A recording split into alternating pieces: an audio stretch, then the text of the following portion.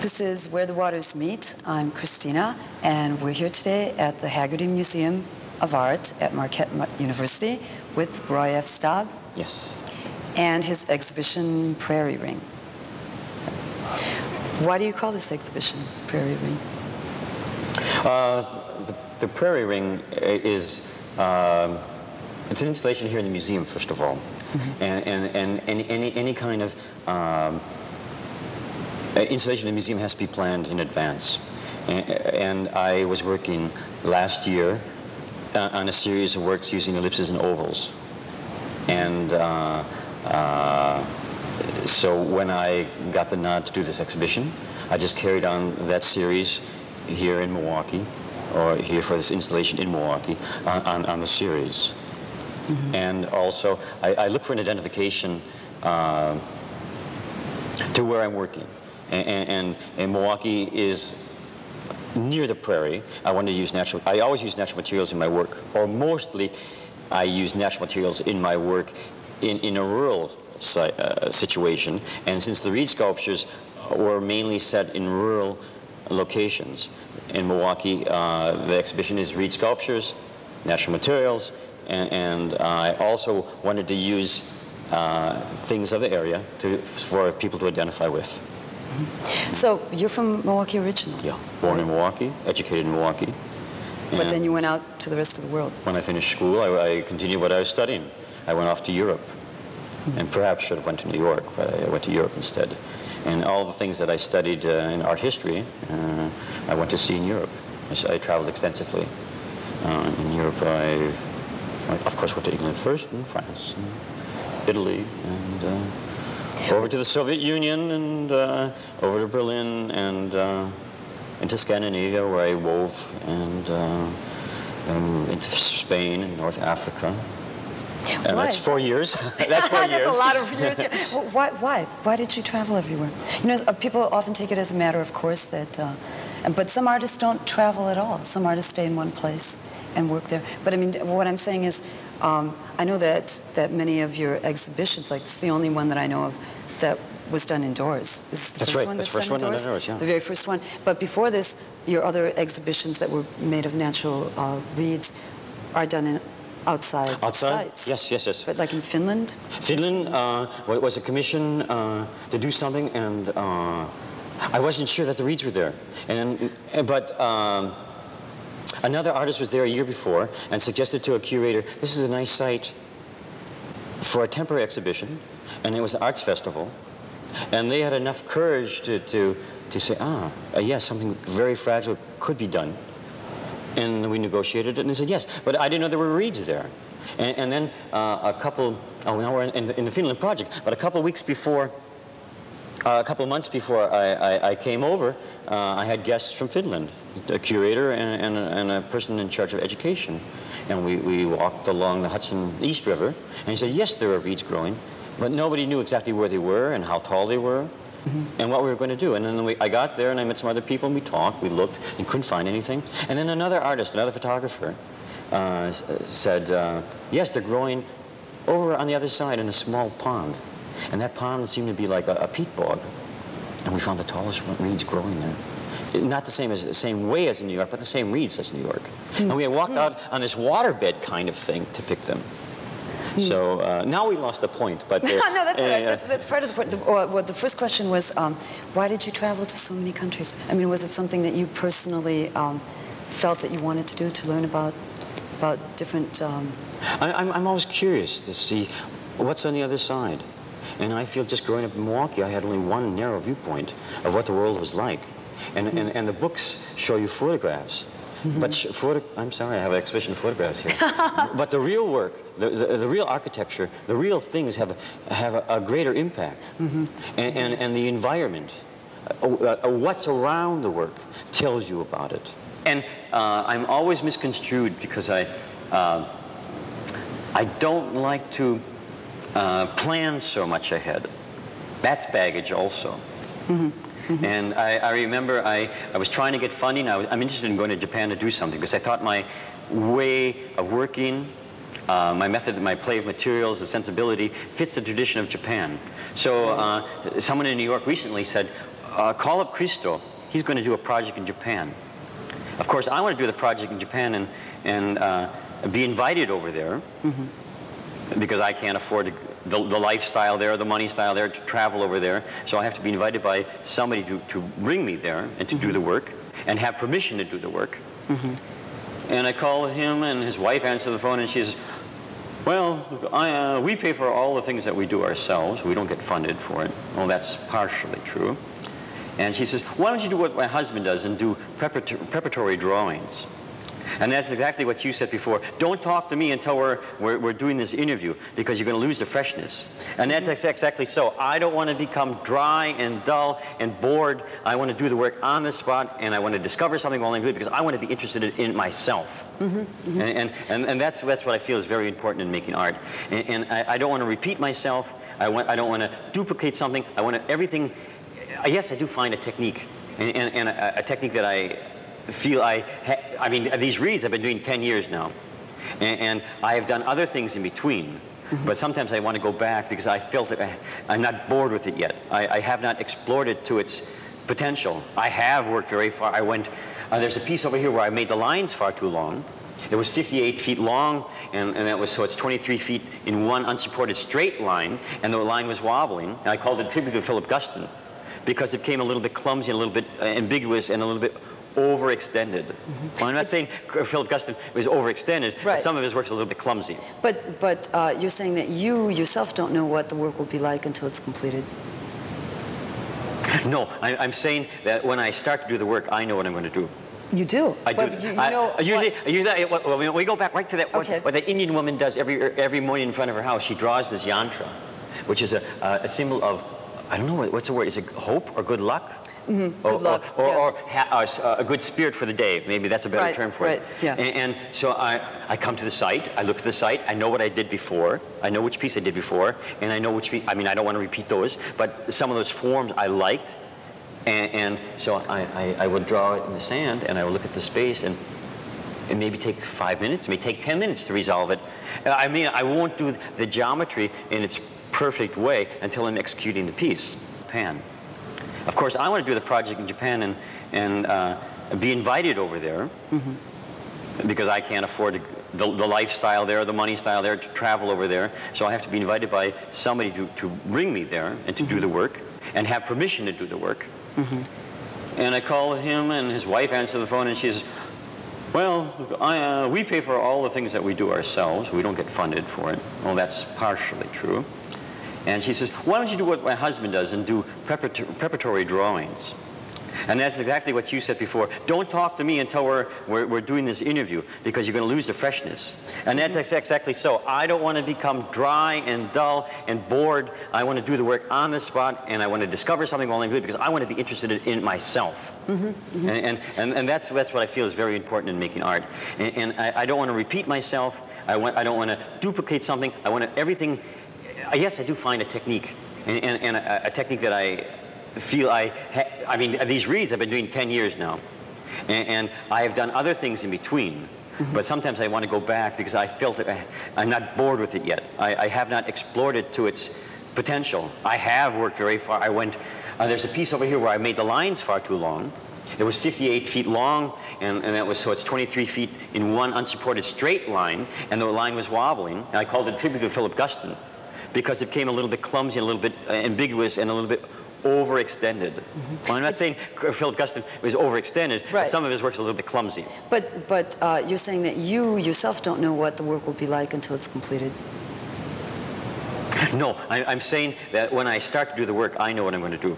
You do. I do. But you, you I- know I usually, what- usually, I- well, we- go back right to that. What, Okay. what that Indian woman does every every morning in front of her house. She draws this yantra, which is a, a, a symbol of, I don't know what's the word. Is it hope or good luck? Mm-hmm. Good luck, Or, yeah. or uh, uh, a good spirit for the day. Maybe that's a better Right, term for right, it. yeah. And, and so I, I come to the site. I look at the site. I know what I did before. I know which piece I did before, and I know which. I mean, I don't want to repeat those, but some of those forms I liked.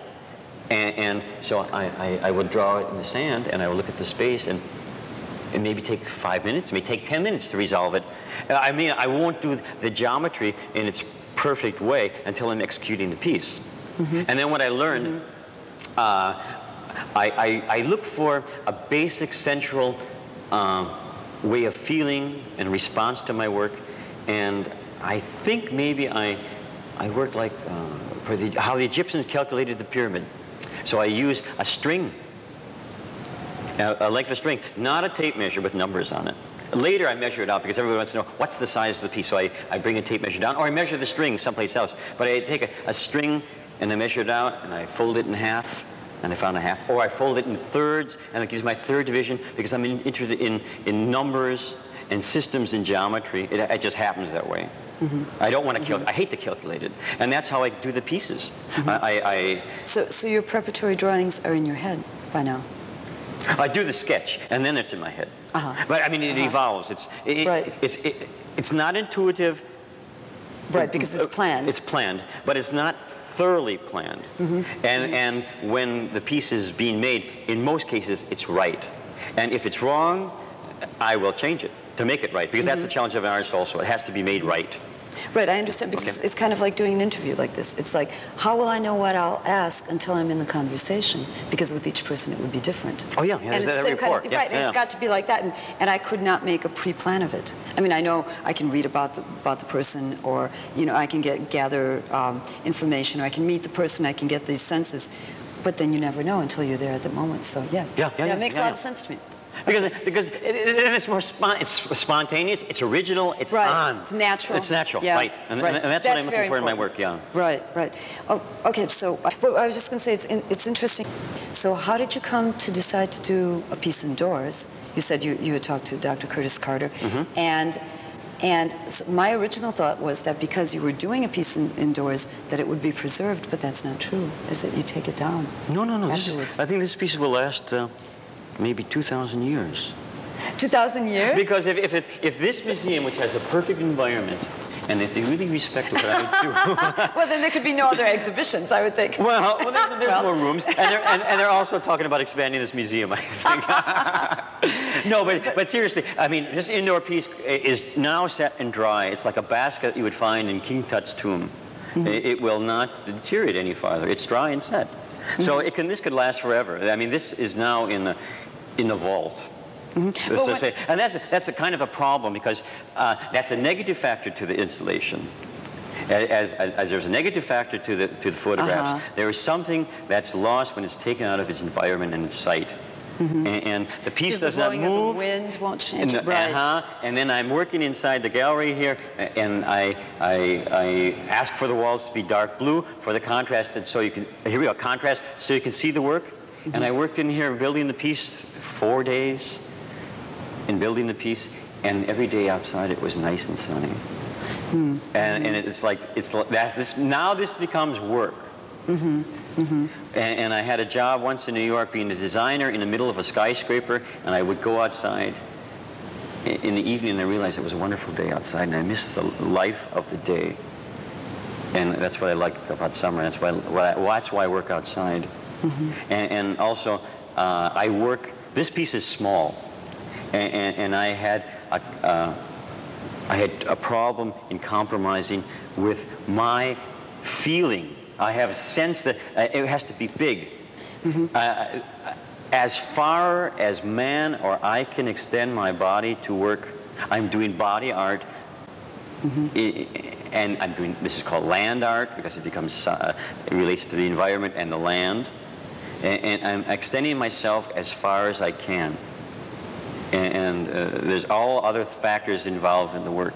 But uh, so I compromised, and I, I, but I, I think for an exhibition of these photographs, this piece, in all its weaknesses, or because it's inside, helps define what the photographs are. It gives yes. you a, a somewhat of an idea Sense. of scale.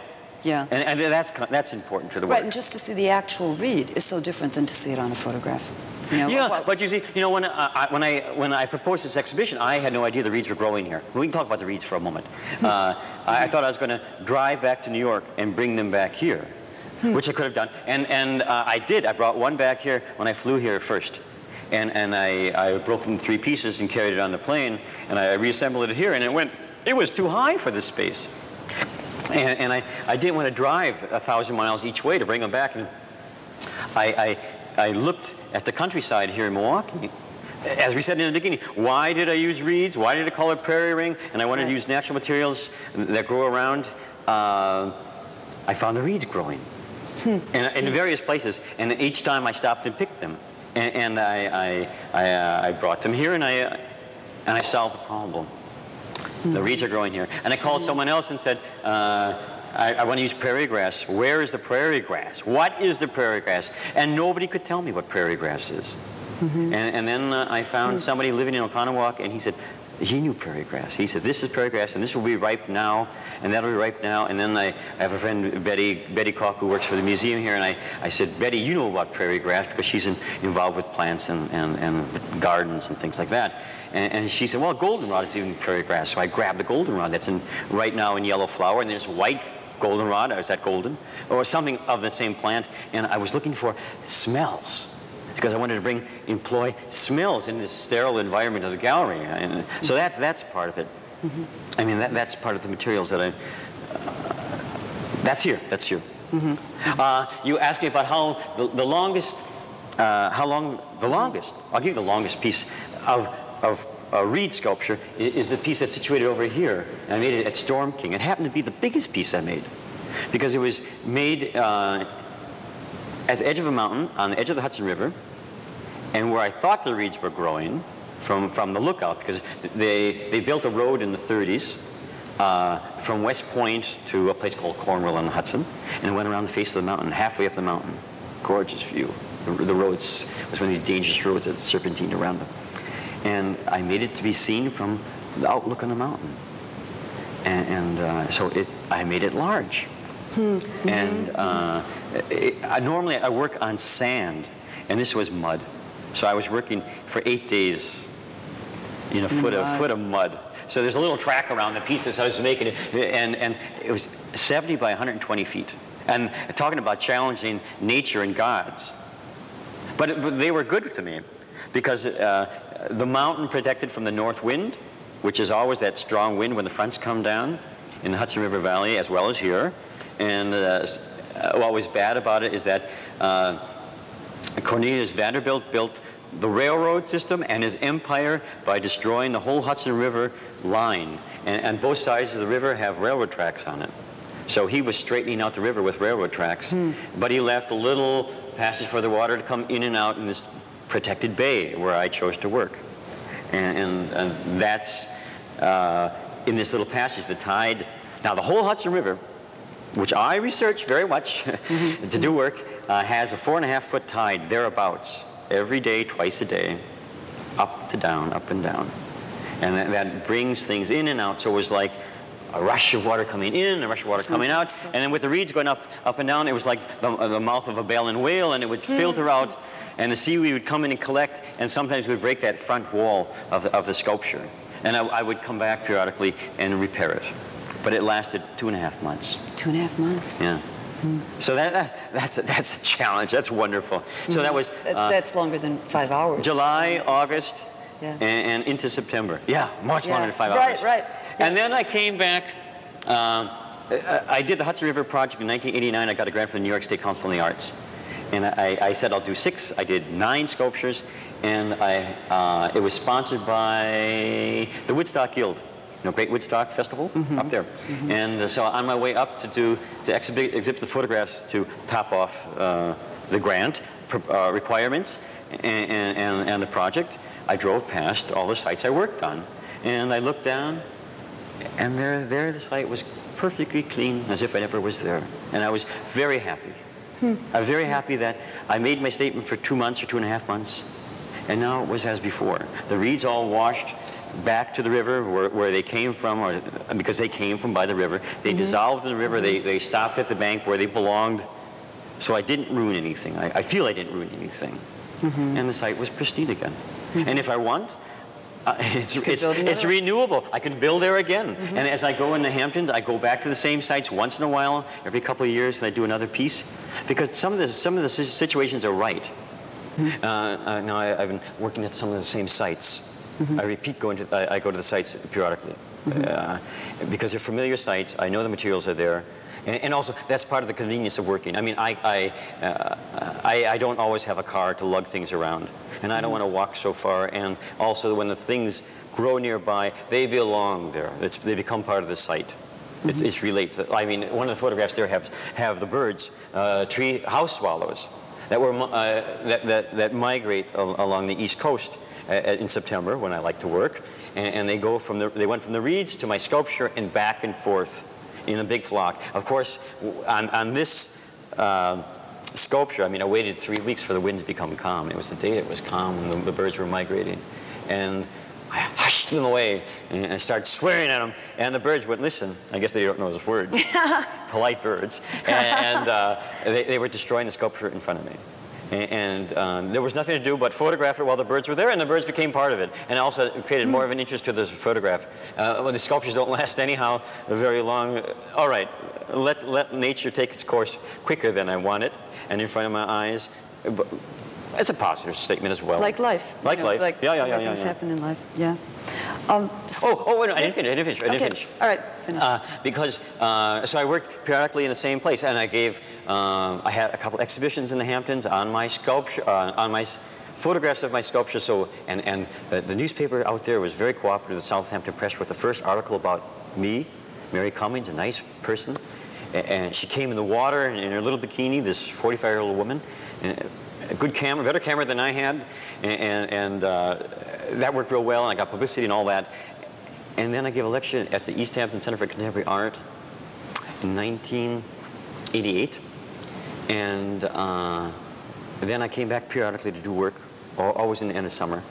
And, and, the, and the last time I did this body of work up in Amagansett, I, I, I announced to everybody again about the sculpture taking place, and all these people still wouldn't come and, and experience what I was doing. So I'm trying to, I, I was disappointed that the audience was so hard to come by.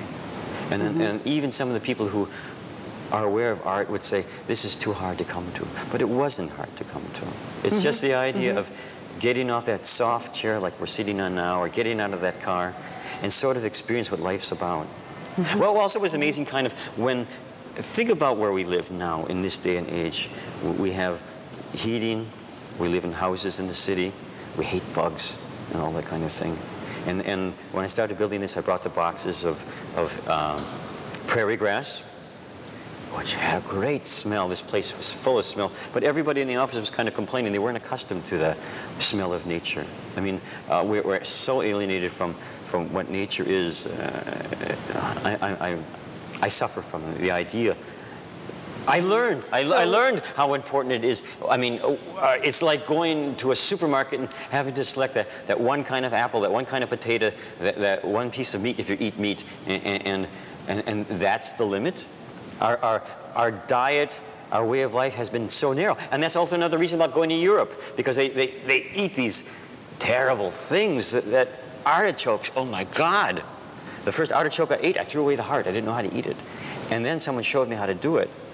I, I learned how to drink wine with meals and, and, eat this runny camembert cheese that has this great taste. But in Milwaukee, I never knew anything about it. And I'm not talking about nouvelle cuisine and, and yuppie mm -hmm. behavior. I'm just talking about opportunities to do more things because, mm -hmm. or going and eating Arab food with your hands. Right, right. I mean, poor Queen Elizabeth who couldn't take off her gloves. but you, you, you, you, have this center tagine and you open it up and it's yes. camel. I mean, a great, a great camel. I mean, it's a little tough if you eat it like a steak. But uh, when it was ground up with this, with the uh, the cheese of, um, of of the artichoke, eh, that's the stem, and you boil that, and it has great taste. And, and, and you go to, in, into the store, and all you eat is, is the head. Mm -hmm. Well, there's more parts to that. Mm -hmm. You know, mm-hmm. it's, it's like eating frog legs. Mm -hmm. I mean, there are extensions that, that are not normally eaten that, are, that taste wonderful. Uh, our culture is very limited. How sophisticated we are, and, and as isolated as we are, alienated as we are to nature. So, uh, working in nature, okay, so it's not in the norm of the gallery, but uh, but this is this is where I this is, the, for me, the full experience. Uh, my work is, is out in nature. It becomes harmonious in nature because mm -hmm. there that gives you all the little little things around it that's preparing you to see the work that is giving the contributions when when the sun is right when the water is right and the piece is there and right for me, it's gorgeous. And then that's, that's when I photograph it. Mm-hmm. Now, I can't find a photographer to sit with me all this time. Mm-hmm. And I, sometimes I'm there and, and, and I, I wait for the light to be right. Sometimes the light's not right. I, I, I, I come there early in the morning and, and uh, the, the weather, the front comes through. Well, that I can't control. But some mornings it is right. Mm-hmm. And, and, and, and, and, and I, can, I, I can enjoy what I do. And- So, you know, I would- think, that- I would say, though, that I would think that to have something like this in a museum would begin to invite people to come out to nature. Exactly. Because maybe they wouldn't be as frightened. Isn't that strange? That just to put this here would, would maybe uh, make people not as frightened of the experience. I agree with you. I think so too. But, but you see, uh, I'm showing, showing you and them that this experience can happen. Yes. Yeah, yeah, and, and, and, and that's that's that's part of part of the statement. Uh, I mean, uh, and also it, it, it, it shows you that there has to be respect to what is there in nature, and nature has to be respected. I mean, it, it's, it's this crisis that we are uh, of no more air and all this ozone, and that's that's a problem. Uh, you have to remember things take time. And, and, and, and Effort, a and- certain effort. effort and process, and, and that's something to do with quality of life. It's uh, Right, I, I I have the- I have the nature. uh, I, I, I know how to sew. If I have a hole in my sock, uh, I, I will will repair Mend it, that yeah. sock instead of throwing it away. Why? Because everything is sewed together anyhow. And, and it, it's maybe shoddy because we're shipping it over to some place where we're exploiting someone's labor, where it's made cheaper and fast. And believe me, those those people are working fast for, for their low Nothing, low, low yeah. thing. And, and, and that I, I went to Marshall Fields, and, and I think this shirt is, is, a, is a nice new shirt that I, that I got for this exhibition. I think it's made in Taiwan or, or some Oriental country, which is exploited because they work cheaper. And I don't know what the quality of their life is over there because I'm not over there, but I don't think that's right. And then they say, American made? Well, uh, maybe Americans should maybe take a little bit more time. Oh, that's a terrible political statement. you take time, take, find a little love in what you do. I love what I do. I don't like to be under pressure, though. And, and, and, and uh, there's something about, again, time. When I worked here in the museum, uh, the negative factor is the people start work here at, at 7 or 7.30 or 8 o'clock in the morning, and they finish at 4.30, and it's out. The security alarm goes on, and everybody's gone. And as an artist working on an installation, it was the same thing. It's, it's either come f- 7 to 4.30, and you couldn't work any longer because the alarm system was on. And when I'm working in nature, there's certain things that have to be considered. It takes X amount of time to put it up. It takes X amount of time to uh, Uh, get some of the horizontal reeds wet in water and put it up, and then they have to be set in place and bound in place, and it takes that much time. Mm-hmm. And then the piece is ready, and then you have to wait for the sun to be ready. And I'm dependent upon all those natural factors and the sun factors in the work, and that's called Aquarian time. Aquarian means agricultural time. Like when the farmer got up to, to plant the seeds, when it rained, they grew. When it rained, sometimes he couldn't work, so he sat in the house and waited till the rain stopped, and he went out there again because he was dependent upon those two things to work together to get his crop. And, that's the sense of time. It's not running here, running there, although uh, uh, that makes things convenient in uh, our civilization and our time. But th- that necessarily is not my time. When I'm tired, I want to sleep. If I'm out late at night, I want to sleep the next morning. If I come to work, I feel terrible. My body says I feel terrible. Mm-hmm. And it's, and it's not saying that I should not go out at night. I mean, I want to have that freedom to do so. But that, the clock something is something I don't want to watch. Mm-hmm. But it's just a thing of convenience. Mm-hmm. But, but making art in nature, uh, I'm at the mercy of the elements, so I'm an Aquarian. And, and I can tell from your work that you love it. I do, I do. Yeah. This has been Where the Waters Meet. I'm Christina, and we were talking today with Roy F. Staab at the Haggerty Museum of Art at Marquette University. And thank you. And thank you very much.